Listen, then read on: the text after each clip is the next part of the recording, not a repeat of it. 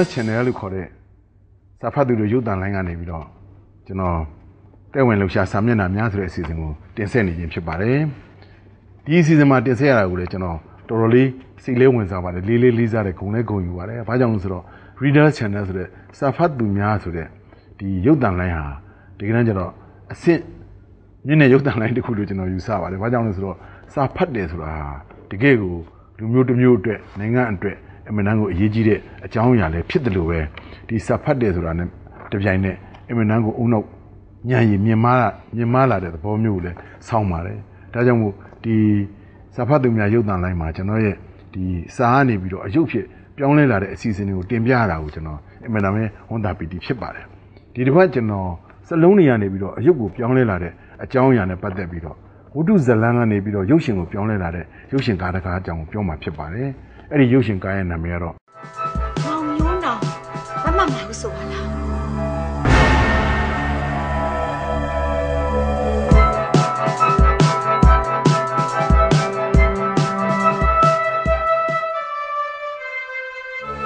မိအပြက်ပဲပြောမယ်မိမိအနာကိုလုံးဝမကတ်ပါနဲ့မိမိကိုပိုင်သိဖို့လည်းဘယ်တော့မှမကြိုးစားပါနဲ့ချစ်ချင်းငယ်ပြိုင်ဆိုတဲ့ရုပ်ရှင်ကားတကားဖြစ်ပါတယ်။ဒီရုပ်ရှင်ကားဟာ ကျွန်တော်တို့မြန်မာစလုံးတွေကနေပြီးတော့နိုင်ငံတကာကိုတွားပြီးတော့နိုင်ငံခြားမှာရက်ခဲ့တဲ့ရုပ်ရှင်ကားတကားဖြစ်ပါတယ်။ဒါကြောင့်လည်းအဲ့ဒီရုပ်ရှင်ကားကိုထုတ်လုပ်သူလည်းဖြစ်တရုပ်ဆောင်လည်းဖြစ်နောက်တစ်ခါသူ့ရဲ့မိခင်ကိုယ်တိုင်ကလည်းဒီဇလန်ကိုရေးထားတဲ့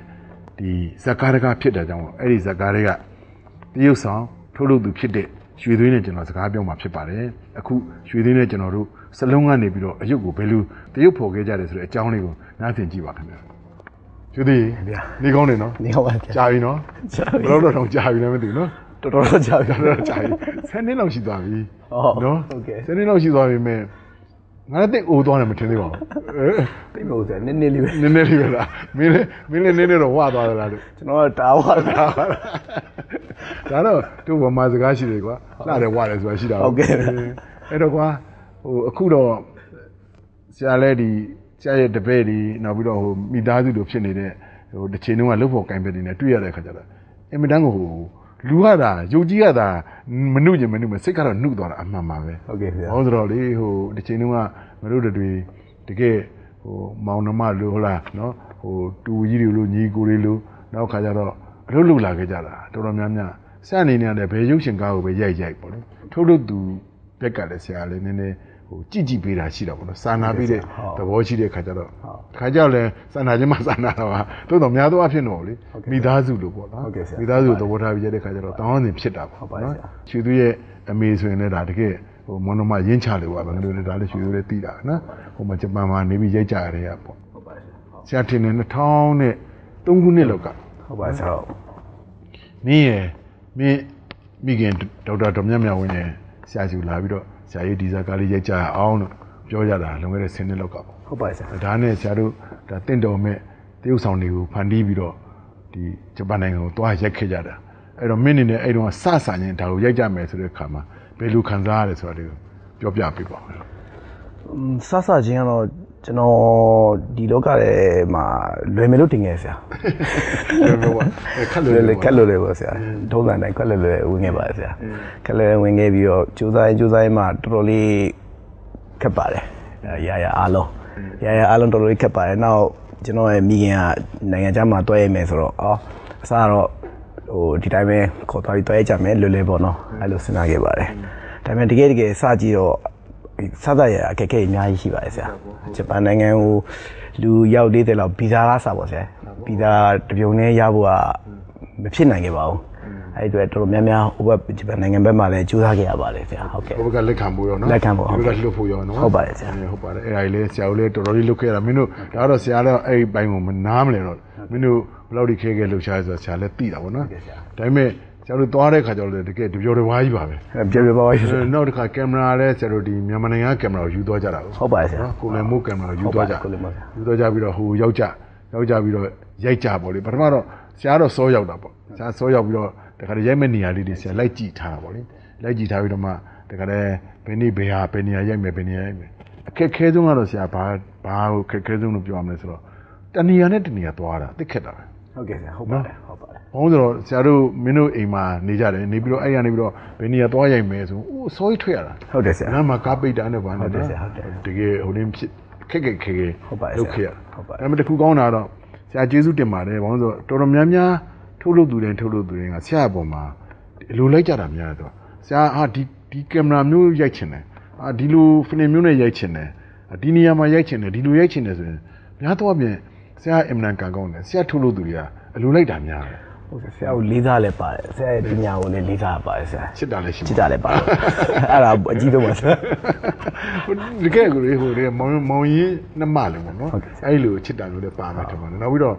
ဟို sincerity ပေါ့ဒါကတော့ဆရာခုံယူပြောတာမဟုတ်ပါဘူးဆရာလည်းဆရာသဘောကျတာလည်း ယူသားမှုကိုတော့ဆရာသဘောကျတယ်ဘာလို့မဆိုဘူးပေါ့နော်ဘာလို့မဆိုယူသားရဲဆိုရင်ဆရာကြိုက်တယ်ဆရာလည်းယူသားသားနေခြင်းတယ်ယူသားသားပြောခြင်းတယ်အာဟိုဘယ်လိုခေါ်မလဲဟာဟာယာတော့ချပလိုက်မယ်လို့ပေါ့ဒါမျိုးတွေဆရာစိတ်ထဲမှာမရှိဘူးပေါ့တနည်းအားဖြင့်တော့ဟိုပေါ့လေအောက်သူအောက်သားတွေကတော့ဘယ်လိုများထင်မလဲတော့မသိဘူးဆရာကတော့အညာသားဆိုတော့အညာအညာသူအညာသားကိုပဲအမွန်းတရားမလို့ဖြစ်နေအညာသူအညာသားတွေကနည်းနည်းအယုခံစိတ်တွေရှိကြတာဟုတ်ကဲ့အဲတော့အဲ့ဒီရဲ့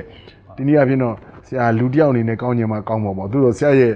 ဒီမွေးဖွားလာရဒေတာလေးကနေပြီးတော့ဒီရဲ့အယုခံစိတ်လေးတွေထည့်ပေးလိုက်တဲ့ခါကျတော့အဲဆရာနည်းနည်းရိုးသားတဲ့လူလေးပေါ့လေအဲနည်းနည်းဆန်းတဲ့လူတွေတော့မှရိုးတဲ့လူပေါ့အဲ့လိုတော့ဖြစ်မယ်ထင်ပါတယ်အဲ့တော့အဲ့လိုရောက်တဲ့ခါကျတော့ပထမဆုံးရွှေသွေးနဲ့ရိုက်တဲ့အခန်းကဆရာထင်တယ်မဆင့်ရဲ့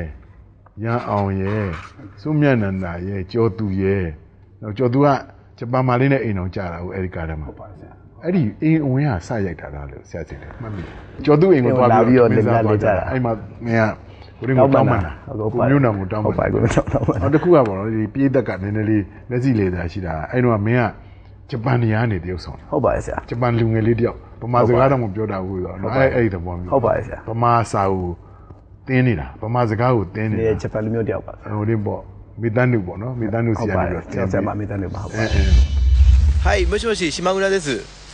です。あどうもこんにちは。明日一緒にご飯食べましょう。いいですね。いつどこで？おでのうちでお昼です。明日先生と約束があるんですけど。一緒に来てもいいわよ。あわかりました。じゃあ先生に聞いてみます。先生がよかったら液晶に行きますのではい。また明日。見てみてください。はい。Makamusha Makamusha Kamusa Kamusa Kiwa Sekota 意味は？悪いことはしない。いいことをしよう。きれいな心で不要は？ここまで。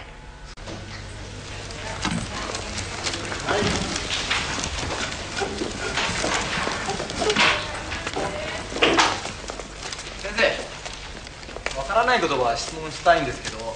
いいわよ。評価マージとは何？およかまじは結構相手の親です。先生こいつミャンマーからミャンマーミャンマーから来た女の子の父親に聞いたんですおおそうですか အဲ့ဒီမှာတချို့ကန်းလေးတွေမျိုးမင်းဇလန်းအရာပေါ့လေဟာသားထည့်ပေးထားတယ်ဒီမှတ်မိတယ်လား မှတ်မိပါဆရာ ကျော်သူကတင်ပေးရလေပြောပါဦး ရောက်ခမကြီးတို့ကျွန်တော်အဲ့ဒီကပြီးတော့ဒူတိုင်းပြောကြရဆရာရောက်ခမကြီး ရောက်ကမှာပမာလို့မပြောတော့ ဘုရားပြောတယ်ဟုတ်ကဲ့ဆရာ အဲ့ဒီအခန်းလေးတွေဆိုဆရာတို့ကဟိုဒီမှာထုတ်နှုတ်ပြလို့ရတာပေါ့ ဟုတ်ပါ ဆိုတော့မင်းက ကျော်သူကနေမင်းကိုကြောက်တုံးပြီးတော့အာဘာလဲဘာလဲဘယ်လိုဘယ်သူ့ကိုခေါ်တယ်ဘယ်လိုခေါ်တယ်သူကျော်သူရဲ့ဟိုသမီးကိုကျွန်တော်ကဒါရရဲ့အဖေကိုရန်လေးပေါ့နော်ကိုရန်လေးကိုကျွန်တော်ကနှုတ်ဆက်ချင်တာပေါ့အဲ့ဒါကိုကိုကျော်သူကနေပြီးတော့ဟိုညီမလိုဘယ်လိုနှုတ်ဆက်ရင်ကောင်းမလဲဆိုတော့ရောက်ခမကြီးတို့နှုတ်ဆက်ဆိုတော့ကျွန်တော်ကအားနဲ့ကိုကိုကျော်သူဆရာနေပြီးတော့ရောက်ခမကြီးဆိုပြီးတော့ကျွန်တော်ဟုတ်တယ်ဟုတ်တယ်မင်္ဂလာပါရောက်ခမကြီးဒီမှာရောက်မှာလေ私マー語で丁寧に何て言えばいいんですか？簡単ですよ。よくまじと。シャカタマヤウカタマジですか？あ違う違う。よかたまじじゃない。よかまじ。よかまじ。ヤウカマジヤオカマジですね。そうそうそう。ミミさんどこに行きたいですか？何をしたいです သူဘာပြောရလဲ ဟုတ်သမီးဘယ်သွားခြင်းလဲဘာလုပ်ခြင်းလဲတဲ့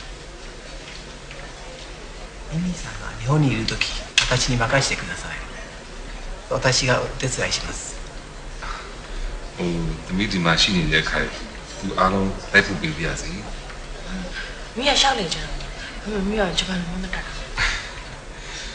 遊びに行きたいそうです日本語がわからないのに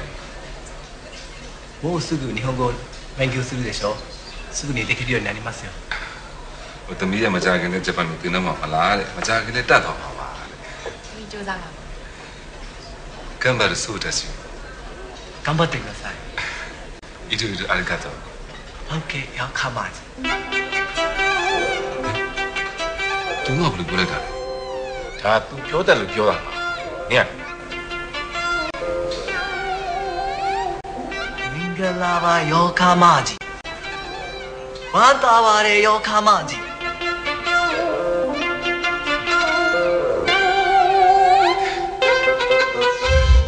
အဲဒီခန်းလေးတွေဟိုလုတ်ခဲ့ရတာပေါ့လေနောက်ပြီးတော့တခါတို့ကဘာပြနိုင်လဲဆိုတော့မင်းနဲ့ဟိုဒါဒါနဲ့ရှောက်လဲတဲ့ခန်းတွေကျတော့ဂျပန်နိုင်ငံမှာရှိတဲ့ဘောလုံးတို့ဟိုဟိုအနှက်ပါပဲဆရာအေးအေးတော်တော်များများနော်တူတူအနှက်အကုန်အနှက်အားလုံးချုပ်လိုက်တာပါဆရာ အင်းဒီကိုဟာမရောက်တယ်ကိုရောက်တယ်နောက်တစ်ခါကျဟိုထိုင်တော်မူတဲ့ရုပ်ဘွားတော်ကြီးရောက်တယ်ဆရာခမကုရလည်းကရောက်မကူရာအန်ဘောအန်ဘောအဲ့ဒါတွေရောတို့လှည့်ပြနိုင်ခဲ့တာပေါ့နော်ဟုတ်ပါတယ်ဆရာနောက်တော်တော်များများပေါ့လေအဲ့ဒီကစီဒီတွေပထိုးတွေတို့ပြနိုင်ခဲ့တာပေါ့ဒီဘ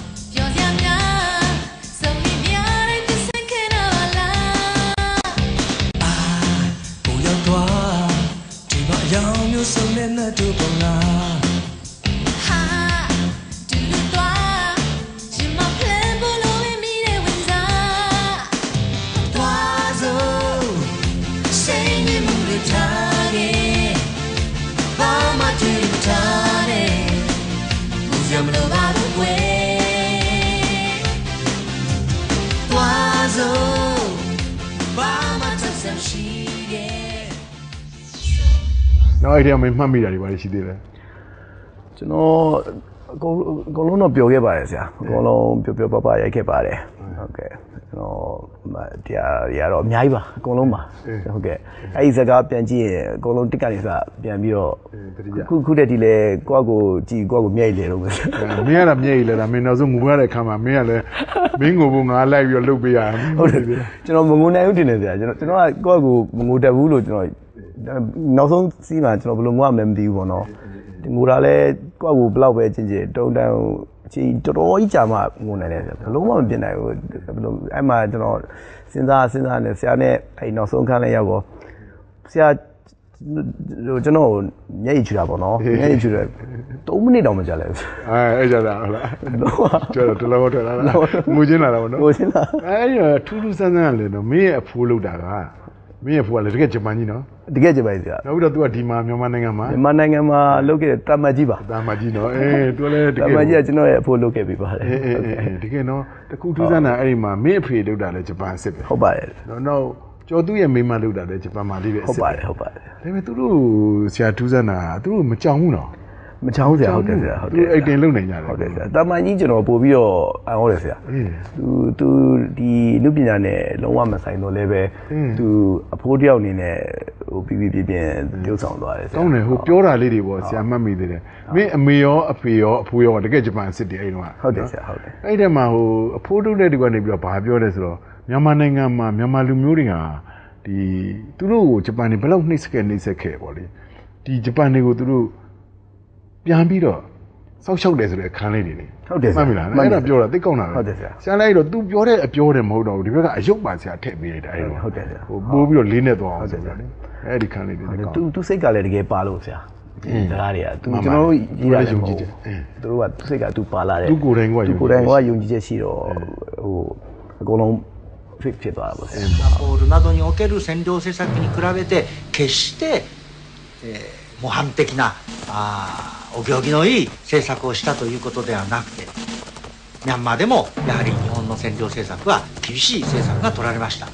あそれこそ憲兵隊はですね、えー一般のビルマの人たちにも、えー厳しい政策を取ったんですけれどもやがて戦争末期日本が負ける段になりますと命からがらあ逃げてくる日本兵をですねビルマの人たちは大変温かく迎えて決してその厳しかった占領政策の仕返しをしてですね、えー日本兵を痛めつけるというようなことをするどころか逆にお腹の減ったあ兵隊さんには食べ物を与える。傷ついた兵隊さんには傷の手当てをする。マラリアなど病んだ兵隊さんには薬を与えるというようにですね、えーミャンマーの村人たちが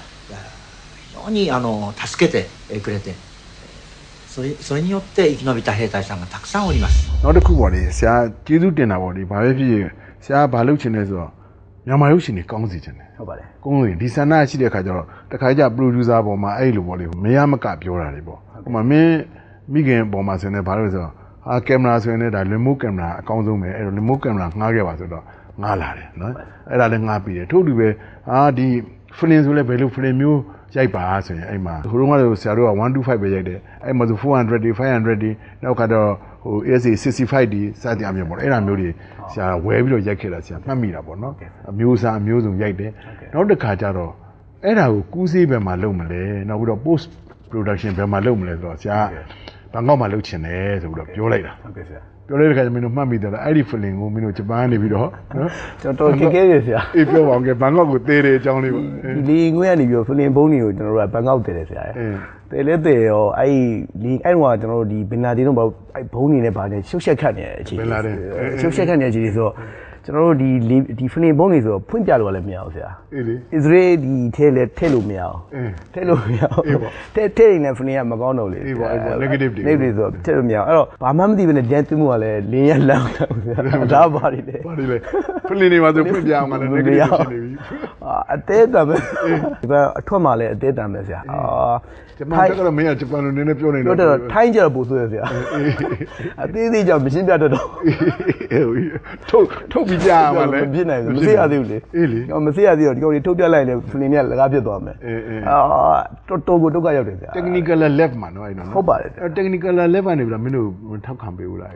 အဲ့အဲ့တော့ကကျွန်တော်အဲ့ဒီနေရာမြောက်သေးဘူးဆရာအဲ့ဒီတော့အဲ့မြောက်သေးဘူးကျွန်တော်တို့အထွက်မှာနောက်ဆုံးကျွန်တော်တို့ပုံကများနဲ့စကားပြောပြရတယ်ဆရာအင်းဂျပန်အထွက်မှာလည်းဒီဘက်ကအမတ်တော်တော်များများနဲ့စကားပြောပြီးတော့ထုတ်ခဲ့ရတယ်ဆရာဟုတ်ပြီဒီအားပေးကြပါတယ်ဖလင်းမှာဆိုအေးလေကွာဖလင်းမှာဆိုအင်းအထွက်မှာလည်းတော်တော်ဒုက္ခပေးပြီးကျွန်တော်ထွက်ခဲ့ရတယ်ဆရာအေးဟုတ်ပြီဟုတ်ကဲ့အဲ့တော့ဟိုရင်ဘန်ကောက်ကိုဝင်တဲ့ခါကျတော့ဘန်ကောက်ကိုဝင်တဲ့အခါကျတော့အစတော့ကျွန်တော်တို့ခက်တီကြီးပဲထွက်မလို့စဉ်းစားရဆရာအင်းအင်းဒီတိုင်းပဲထွက်တော့ပဲပေါ့အင်းဘန်ကောက်ကိုထွက်တော့ပဲဆိုအင်း ဟိုဘက်ကကြီးကြရတယ်ကြည်နေဆရာအင်းအင်းဘုန်းတွေကလည်းများတယ်အေးအေးအေးမင်းတို့ဘယ်နှစ်ယောက်လဲကျွန်တော်တို့ကျွန်တော်ရဲ့ချမ်းသာကြီးဟိုချမ်းသာကြီးဆိုရဲအေးလေဟုတ်ပြီနှစ်ယောက်အဲ့ဒါထွက်လဲထွက်ပေါ့အဲ့ဒီဘုန်းကြီးကြည့်ပြီးတော့ဒါဘာတွေလဲဆိုတော့ဒါဖလီနေပါဆိုထုတ်ပြထုတ်ပြလို့မရဘူးထုတ်ပြလို့မရလို့မရဘူးဖုန်းကြလို့မရဘူးအေးလေပါအဲ့အဲ့ဒါမှထပ်ပြီးတော့ကြက်တော့တယ်ဆရာ အင်းအဲ့မှာထပ်ပြီးတော့ပြောကျွန်တော်အဲ့မှာဝီလီဆိုတာကျွန်တော်တကယ်ချင်းရှိပါတယ်အေးအေးအေးအော်အေးဟုတ်ပြီအေးအေးကျွန်တော်မနက်စီတို့မနက်စီတို့အေးကျွန်တော်တကယ်ချင်းများအဲ့မှာကူညီပြီးထုတ်ပြီးတော့အဲ့ဒါနဲ့ထွက်သွားတာပါဆရာဟိုတော်သေးတာဒုက္ခရောက်ခဲ့ပါတယ်အေးအေးထွက်အဲ့သွားတော့ lab မှာအာတို့ technical lab မှာဟုတ်ကဲ့စီးတယ်ဟုတ်ပါတယ်နော်နောက် editing ကတော့ auto ဒီမှာလုပ်တယ်ဟုတ်ဟုတ်ပါတယ်ဟုတ်တာပေါ့ editing ကအဲ့ဒီကနေပြီးတော့အဲ့ဒီ flame ကအဲ့ဒီမှာထားခဲ့တယ်ထားခဲ့ပြီးတော့အဲ့ဒီကနေပြီးတော့ telecine ကူးပြီးတော့ ဒီကိုခွေပဲယူလာတယ် mini DV လေးတွေတင်တယ်ယူလာတယ် mini DV လေးတွေကိုဆရာတို့ဒီမှာဗမာပြည်မှာဆက်တယ်ဆက်ပြီးတော့အဲ့ဒီ mini DV ကဆက်ရတဲ့အယုတ်ကိုပဲသူတို့ EDL ခေါ်တာပေါ့လေနော်အဲအဲ့ဒီဟာနဲ့ဟိုပြန်ပို့လိုက်တဲ့ခါကျတော့ဟိုကနေပြီးတော့ဒီ negative ကိုပဲသူကဟို matching လုပ်ကင်လိုက်ပြီးတော့ဟုတ်တယ်ဆရာတို့အဲ့ဒီဟာဖြစ်တာပေါ့လေ post production ကလည်းအဲ့ဒီမှာလုပ်တာနော်ဟုတ်ပါတယ်ဆရာဟိုတင်းနေပါလေဟို sound mixing လုပ်တာပါ Sound လေလည်းပါနော်ပဲဆရာအဲ့တော့ဒီကားအနေနဲ့ပေါ့အခုဒီစက်လုံးကနေပြီးတော့ အယုတ်ကိုဖန်တီးတဲ့နေရာမှာဒီအယုတ်ကောင်းအောင်အတန်ကောင်းအောင်ဒီစလုံးရဲ့အတိတ်ပဲကိုစလုံးမှာဖတ်ကောင်းတယ်လို့ခံစားကောင်းတယ်လို့ပဲဒီအယုတ်မှလည်းခံစားလို့ရအောင်ဒါတက်နိုင်မှကြိုးစားခဲ့တယ်အယုတ်ကကြည်လင်ပြတ်သားမယ်အတန်ကလည်းကြည်လင်ပြတ်သားမယ်ဒါမှသာလျှင်ဒီအယုတ်ကိုကြည့်တယ်ရုပ်ရှင်ကြည့်ပြိတတ်တယ်နဲ့ဒီပို့ပြီးတော့ဟိုအရသာတွေ့နေတာမို့အဲ့လောက်ထိကြိုးစားပြီးတော့ဒီဗမာကားတကားအနေနဲ့ဘာတော့ဆရာအနေနဲ့တကယ်ကျင့်တတ်ပါတယ်ဘာလို့ကျင့်တတ်လဲဆိုတော့များသောရင်ဆရာတို့မြန်မာရုပ်ရှင်ကားတွေက အယုတ်ကလည်းခတ်မုံမုံအတန်ကလည်းမပြီးမတကြည်တန်ငှက်တန်ကားတန်ဟွန်းတန်နေနဲ့အဲ့လိုဖြစ်နေတဲ့အနေထားကနေပြီးတော့ဒီချစ်ချင်းငယ်ပြိုင်ဆိုရရုပ်ရှင်ကားတွေကတော့ဒီအယုတ်အနေထားလည်းကောင်းတယ်အတန်အနေထားလည်းကောင်းတယ်ဆိုတာဆရာအဲ့မှာတွေ့ခဲ့ရပါတယ်တွေ့ရတဲ့အတွက်မင်းတို့လည်းကျေးဇူးတင်ပါတယ်အမှပြောရတယ်ကျေးဇူးတင်ပါဆရာအင်းအင်းအင်းကောင်းပါပြီအဲ့တော့ကြည့်ရတဲ့ခါကျတော့ဟိုဘယ်မှာလဲဆိုတော့ဆရာမှတ်မှတ်ရရပေါ့အဲ့ဒီ technical လာမှာဆရာတို့ အစမ်းပြတယ်ဟုတ်ပါတယ်အစမ်းပြတဲ့ခါကျတော့အဲ့ဒီကဆရာမိတ်ဆွေယူရီးယားကြီးလာတယ်လာပြီးတော့သူတို့ကကြည့်ပြီးတော့ဟာတဲ့ဒါတဲ့ဘန်ကောက် Film Festival မှာတင်မလားဆိုတော့သူလာကလန်းတာမှတ်မိတာနော်တခုပေါ်လေးပြောစရာတွေကတော့အများကြီးပါပဲချစ်ချင်းငယ်ကလေးနဲ့ပတ်သက်ပြီးတော့ပေါ့တခုကပဲရလဲဆိုတော့မင်းနဲ့ကလေးမလေးမင်းကဂျပန်ကိုကလေးမလေးကမြန်မာပေါ့သူဂျပန်မှာတင်မဲ့အဖေကလည်းတမိဗမာပြည်ကိုပြန်ပြအောင်ပြန်มาဆိုမှားလိုက်တယ်ဟုတ်ပါတယ်မှားလိုက်တဲ့သူကမင်းနဲ့သူနဲ့ချစ်နေပေမဲ့အဲ့ဒါကိုသူ စွန့်ခွာပြီးတော့သူကမြန်မာနိုင်ငံကိုပြန်သွားတယ်ဟုတ်ပါတယ်မင်းကကြံရစ်တယ်ဟုတ်ပါတယ်ကြံရတဲ့နေရာမှာဘယ်လိုလဲဆိုတော့ဆရာအဲ့ဒီမှာအမှတ်မထင်တော့အဲ့ဒါလေမင်းတို့မင်းတို့စီမှာဆရာအဲ့လိုကားရိုက်နေနေဖို့အဲ့ဒီစာတင်ကျောင်းတစ်ကျောင်းကနေပြီးတော့တချင်းလေးတစ်ခုကြားဟုတ်ကဲ့ဆရာကြားတဲ့ခါကျအဲ့တချင်းလေးကချက်နားထဲမှာဆွဲတော့မင်းမိခင်ကိုမေးတယ်ဟုတ်ကဲ့အဲ့မပြလို့ဒီဒီတချင်းကဘာလဲလို့ဆိုတော့ဟုတ်ကဲ့ဆရာတဲ့ဒီတချင်းကတဲ့အိမ်ပြန်ချိန်လို့အထိပဲရတယ်ဟုတ်ပါတယ်ဆရာကလေးလေးတွေကအချိန်တန်တော့တယ်ကျောင်းစင်းတဲ့ချိန်အိမ်ပြန်ရတယ်တဲ့သူကအဲ့လိုဆိုတော့ ဟာလို့မပြဒီဒီဘယ်ကိုကျွန်တော်တိတ်သဘောကျတယ်လို့အတန်လေးလည်းကျွန်တော်သဘောကျတယ်လို့အဲ့တော့ဒီတချင်းသုံးလို့ရမလားမေးကြည့်ပါဆိုတော့ဟာဒါကဟိုဘယ်လိုခေါ်မလဲကလေးတွေဒီ ကျောင်းစင်းတဲ့အခါမှာမင်းတို့သုံးတယ်ဆိုတဲ့ဟာမျိုးလေးဟုတ်ပါတယ်ဆရာကျွန်တော်တို့ကလေးတွေအကြောင်းစင်းတဲ့ခါကျရင်ဟို9နိုင်ညနေ9နိုင်ထိုးရင်ကလေးတွေအိမ်ပြန်အောင်လို့သူတို့ဒီကျွန်တော်တို့ဂျပန်မှာဆိုရင်ရက်ကွက်ရက်ကွက်တွေကသူတို့လော်စပီကာနဲ့လွှင့်ပေးရဆရာအာအိမ်ပြန်မှာအိမ်ပြန်မှာဆိုရအဲ့ဒါလေးအဲ့ချင်းလေးဆရာအဲ့တော့အဲ့တော့အဲ့ဒီချင်းလေးပြောစမ်းပါဦးမယ်အတန်လေးရတယ်အဲ့ဒီချင်းလေးဆိုကြုံနေတော့ကျွန်တော်ဆိုလို့ပြန်ဆရာအေးရောက်တော့ပါဦးမယ်လာလာလာလာလာလာလာလာ 啦啦啦啦啦啦啦啦啦啦啦啦啦啦啦啦啦啦啦。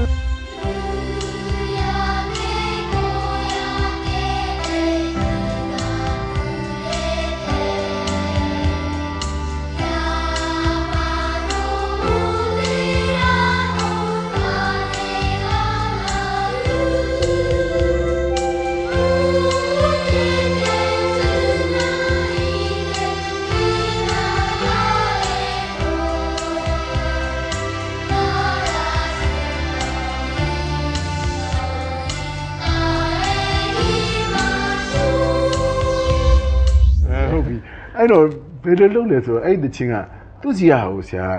ဟိုယူလို့မရဘူးလေသူတို့ copyright စာရှိတာပေါ့အဲ့တော့ဒီမှာသူ့နာမည်တော့ဆရာမေ့နေပြီတကယ်တော့ तू ကဆရာကိုအများကြီးကျေးဇူးပြုပါတယ်ဒီမြန်မာနိုင်ငံမှာရောက်နေတဲ့ဂျပန်တယောက်မင်းမှတ်မိသေးတာမသိဘူးအဲ့ဂျပန်ကိုဆရာဟမ်ဟီတာချီရလားမသိဘူးဟိုအရှိတချာဟုတ်တယ်ဟုတ်တယ်ဟိုလင်းကလေဟုတ်ကဲ့ဟုတ်ကဲ့ဟီတာချီကဟိုခေါင်းဆောင်ဒီမှာလာပြီးလုံနေဟိုကျွန်တော်နာမည်ကျွန်တော်လည်းနာမည်အခုပဲကြည့်ပြီးဟုတ်တယ်ဘာလို့လဲဆိုတော့သူ့ကိုဆရာဟိုနေ့ပြအကူကြီးတောင်းတာကျွန်တော်အဲ့ဒီချင်းကို ကျွန်တော်လိုချင်တယ်ဆိုတော့ဂျပန်ကလေးတွေနဲ့သူသွင်းပေးတာဆရာအဲ့ဒါနဲ့အဲ့ဒီကားထဲမှာဆရာအဲ့ဘာလို့လဲဆိုတော့ကလေးမလေးကသူမင်းကိုချစ်တယ်ဒါပေမဲ့ तू အိမ်အချိန်တိုင်းအိမ်ပြန်ရမယ်အဲ့မှာအိမ်ပြန်သွားတာဆရာပြောချင်တာမင်းကခုနဘင်္ဂလားဒေ့ရှ်ဆိုတဲ့စကားပြောလို့ဆရာဒါလေးတတိယလို့ပြောတာပါအဲ့ဒီတချင်းနဲ့ပြီးရောဆရာကမင်းနဲ့ကလေးမလေးလဲခွဲလိုက်တဲ့အချိန်မှာမြန်မာတချင်းကြီးတစ်ပုတ်ထည့်တယ်ဟုတ်ကဲ့မြန်မာတချင်းတို့ကဘာလို့ဆိုတော့ချစ်ချင်းငယ်ပြိုင်ဆိုတာ ਨੇ ပတ်သက်ပြီးတော့ဗောနော်ဆိုတော့ချစ်ချင်းငယ်ပြိုင်မြင်းမင်းပိုင်အန္နဝါက ပြန်တရားကဲရင်းစီဝတ်တုံလာဝန်းတော်တာယုံတို့ကဘာကုံကျေတဲ့ရွငယ်ဘယ်မိတ်တွေလဲဆိုတဲ့ဒီပိုက်ကလေးပါတဲ့တချင်းကြီးကိုဆရာထည့်တာအဲ့ဒီထည့်လိုက်တဲ့အချိန်မှာဒီမြန်မာနိုင်ငံမှာပြတဲ့အချိန်မှာမြန်မာပြည်သက်ကဝိုက်ဟာနှစ်မျိုးဆရာကျွန်တော်နှစ်မျိုးတွေ့ပါတယ်ပြောပါအောင်ကဲအဲလုံးဝကိုဒီတချင်းနဲ့ဟိုဒီမျိုးဟတ်တိသွားတဲ့အဲ ပုဂ္ဂိုလ်များလည်းတွေ့ပါတယ်ဟုတ်လားဟုတ်ပါတယ်နောက်တစ်မျိုးကကြတော့ဒီအတန်းထွက်လာတဲ့ဘုံဆိုထွက်လာတဲ့အတွက်သူရည်တဲ့ပေးတယ်လည်းတွေ့မိပါတယ်ရှားအဲ့လိုမတွေ့ဘူးဘယ်လိုတွေ့လဲဆိုတော့ဟိုမြန်မာတချင်းကြီးတွေနည်းနည်းရှေးတချင်းကြီးတွေကိုအဲ့လိုတုံးလာပြီဆိုရင်လူတွေကတယောခြင်းကြသလားလို့တခြားခံစားရတာပါအဲ့လိုဖြစ်ရင်တော့အအများကြီးဆရာတို့ကဟိုဟိုရင်းပေါ်တယ်ဟိုစိတ်မကောင်းစရာပဲပေါ့အဲ့ဒီကားမှာဆရာအဲ့လိုဖြစ်သွားတာပေါ့အဲ့ဒီကောင်ကိုကြည့်လိုက်တိုင်းကြည့်လိုက်တိုင်းမှာ ဒီရှေ့ကနေပြီးတော့ဂျပန်တချင်းလေးလာတယ်အဲ့သူတို့လိုက်သွားသေးတယ်နောက်အဲ့ဒီမှာခုနကချစ်ချင်းငယ်ပြိုင်းဆိုပြီးတော့ဆိုတာကရီတန့်ဆိုတယ်တီးတာကကိုကြီးနွယ်ပတ်တလားနဲ့တီးတာဆရာလည်းတကက်ကိုမြန်မာတချင်းကိုလိုချင်လုံးလို့ဟုတ်ကဲ့အဲ့နေရာထည့်တာပေါ့နည်းနည်းလေးဆရာပြောရင်တယ်ဘာလို့လဲဆိုတော့ဒါလေးကဟိုနည်းနည်းစိတ်ထဲမှာပေါ့လေရုပ်ရှင်ဒါရိုက်တာတယောက်အနေနဲ့ခံစားရအောင်လို့အဲ့လိုထည့်လိုက်တဲ့အချိန်မှာမင်းကကမလေးကဟိုရင်းကိုသွားပြီသူကလေမြန်နဲ့ပါသွားပြီမင်းကဒီဘက်ကနေပြီးတော့ကားနဲ့ပြန်လာတယ် အဲ့ဒီကားနဲ့ပြန်လာတဲ့အချိန်မှာခုနကကဘာကုံကျဲတဲ့ရွေ့ငယ်မှာဘယ်မေ့နေလဲဆိုတဲ့အပိုက်ကိုဆရာပြုတ်ဖော်ရတယ်အဲ့ကဘာကုံကျဲတဲ့ရွေ့ငယ်မှာဆိုတဲ့ဟာကိုဖော်တဲ့အချိန်မှာနေရာလိုက်ချတယ်ဆရာဘယ်လိုလိုက်ချလဲဆိုတော့တကယ် white စင်းကြီးပေါ့အကျယ်ကြီးပေါ့နော်အကျယ်ကြီးကိုပြကျင်တယ်နောက်ပြီးတော့တနာစရာကောင်းအောင်လည်းပြကျင်တယ်နောက်ကဘာဆိုတဲ့ဟာတဲ့သဘောကိုလည်းပြကျင်တယ်ဆိုတော့မင်းမင်းနဲ့ဆရာနဲ့လိုက်ရှာတာ၃ရက်ကြာတယ်အဲ့မှာဆရာမှတ်မှတ်ရရမိုးရီထဲမှာလိုက်ရှာတာဒီစင်းကိုကျွန်တော်လိုချင်ဒီစင်းရိုက်ချင်တယ်ဆိုတော့ အဲ့တော့ကဘာကုံကျယ်သေးငယ်မှာဆိုတဲ့ဟာလေးနော်အဲ့ဒါကိုဒီပုဂ္ဂလိကခြံမောကနေကြည့်လိုက်တဲ့ခါမှာပင်လေကန်းဆက်ရယ်ကားလန်းလေးရယ်တောင်ရယ်အဲ့ဒါလေးကိုဆရာသွားတွေ့တာဟာဒီနေရာကြိုက်ပြီဆိုဒီနေရာရိုက်တာပေါ့ဆိုလိုတာကဒီဗမာတချင်းကြီးလေးလုံမဲ့နေရနာကိုထဲ့တဲ့ဟာလေးမှာဘယ်လောက်ဒီဂရုစိုက်တယ်တပိုက်ကလေးကိုဘယ်လောက်ဂရုစိုက်တယ်ဆိုတော့ဆရာဟိုပြီးတက်ကိုသိစေချင်တာပါဆရာတို့အနေနဲ့အားစိုက်တာလေ အဲ့ဒါတော့ဒီအားစိုက်ပြီးတော့ဒါအခုပြလိုက်ရင်လည်းသိမှာပါအဲ့ဒါလေးကိုဆရာတို့ကပြလဲပြမှာပါဒီကအဲ့ဒါကိုပြရပြီးတော့အဲ့ဒါကိုအားထားပြီးတော့ကိုကဒီတချင်းကြီးလေးကိုရင်ထဲကိုရောက်စေချင်လို့ပေးလိုက်တာမရောက်ဖ ೇನೆ ရည်စရာဖြစ်သွားတော့ဆရာညံ့သလားဆရာကိုဆရာတွေးတာပေါ့ငါတိတ်ညံ့သွားသလားအဲ့လိုဒါကတော့ထားပါတော့နော်တိုးတော်လဲနောက်တစ်ခါကျတော့ဘန်ကောက်မှာပြတယ်ဘန်ကောက်မှာပြတဲ့ခါကျတော့ပထမနှစ်ယုံပြတယ်ဟုတ်ကဲ့နှစ်ယုံပြတဲ့အချိန်မှာလူပြည့်သွားတယ်အဲ့မှာဟုတ်ကဲ့ ဗမာတွေလည်းကြည်တာပေါ့လေမှန်တော့ဗမာတွေလည်းကြည်တယ်နိုင်ငံခြားသားတွေလည်းကြည်တယ်အဲ့ဒီပုံတွေလည်းရှိပါတယ်အဲ့နှစ်ယုံပြည့်တဲ့အတွက်နောက်တာမြို့ထဲတစ်ယုံမှာတခါသူကတိုးပြရတယ်သူကဟုတ်ကဲ့ဆရာအဲ့တော့နှစ်ပွဲပြမဲ့နေရာသုံးသုံးပွဲသူပြလိုက်တယ်ပြတဲ့ဟာကိုလည်းပြည့်တက်ကလည်းကြိုက်တယ်ဟုတ်ကဲ့နောက်မင်းနဲ့ဆရာနဲ့တခါဘင်္ဂလားဒေ့ရှ်သွားပြတာတက်ကာမှာသွားပြကြတယ်နော်နောက်တစ်ခါတစ်ခါအိန္ဒိယမှာတစ်ခါပြတယ်ဟုတ်ကဲ့ဆရာအဲ့ဒီနိုင်ငံခြားမှာပြတဲ့ခါတိုင်းပြတဲ့ခါတိုင်းနိုင်ငံခြားသားပြည်သက်ကဟုတ်တယ်ချစ်ချင်းငယ်ပြန်တချင်းကြီးလာတဲ့အချိန်မှာမရည်ကြပါဘူးဟုတ်ပါတယ် ဟုတ်တော့သူတို့ဒီထဲမှာစီးမျောပြီးတော့သူခံစားဆရာအဲ့ဒါအနေနဲ့ပတ်သက်ပြီးတော့ပြောချင်တာပါလေမြန်မာပြည်သက်အနေနဲ့မြန်မာတချင်းကြီးတွေမြန်မာမှုမြန်မာဟန်တွေကိုတင်ပြတဲ့အခါမှာတော့မတရောစေခြင်းဘူးပေါ့နော်တရောတဲ့စိတ်ကလေးကိုတော့ဟိုပေါ့လေအဲ့ဒီနေရာမှာတော့မပေါ်စေခြင်းဘူးပေါ့နော်အာရိုးတုံတာလိုက်တာကွာနော်ကွန်ဆာဗေးတစ်ကြီးကွာအာရှေ့ကျလိုက်တာကွာလို့မထင်စေခြင်းမဟုတ်ဘူးဟုတ်လားမြန်မာမှုကိုမြန်နိုးတာဟာ ဟိုရင်းဖြစ်တာမဟုတ်ပါဘူးအာတာညံ့တာမဟုတ်ပါဘူးဆိုတော့ဒါမျိုးလေးပါဒါလေးတော့ပြောချင်တာပေါ့လေဒါကတော့ရည်တဲ့လူတွေပြောတာမှမရည်တဲ့လူတော့မပြောပါဘူးတရော်တဲ့လူတော့အဲ့လိုပြောချင်ပါတယ်မြန်မာမှုကိုပြတာဟာခင်းတော့ပြန်ဆွဲတာမဟုတ်ပါဘူးဆိုတာလေးတော့ဆရာဒီနေ့ကြုံလို့ပါပြောချင်တာပါ